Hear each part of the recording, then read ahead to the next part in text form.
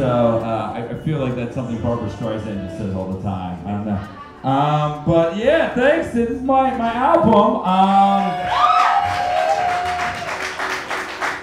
you'll be awkwardly staring at it when you go to get water and think to yourself, no, I'm good. Uh, My name is Mike Lawrence and I am a stand-up comedian.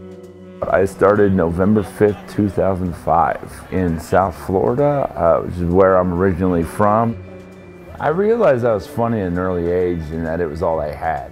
You know, I, I wasn't attractive, I wasn't athletic, but I could make, you know, the other kids laugh.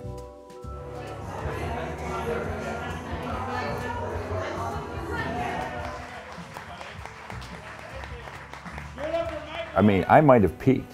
This might, you might be catching me at the highest moment of my career, and, this, and then I'm over. That that could happen, and trust me, that is in my forefront of my mind. That that happens all of the time. You know, I told myself when I was 23 that by the age of 30, if I didn't either make five thousand dollars or get a TV credit, I would quit.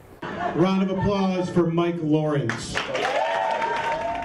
Guys, uh, I don't I don't drink a lot. Uh, I come from a long line of alcoholics. My family tree has a car wrapped around it. I mean, I worked at a Pinkberry and got fired after three weeks. I um, stocked restaurants at an airport for like a year and two months.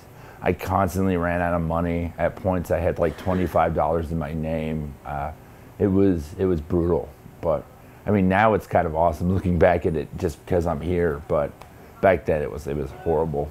I taped my first John Oliver um, New York stand-up show episode on my birthday at the age of 28, and that was also enough money to get me over that 5,000 mark.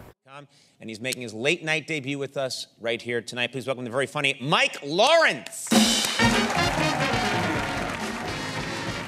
Uh, it's great to be here. Uh, I live in New York. When you're killing, it feels like this.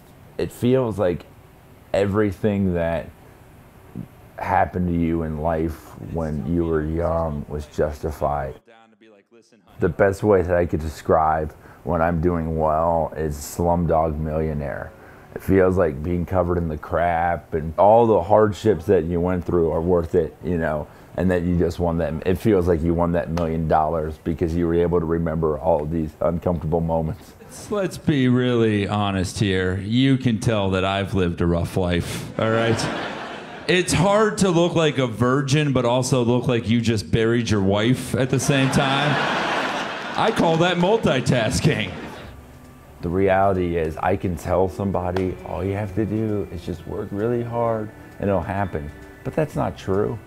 Most people that do this work really hard and it doesn't happen.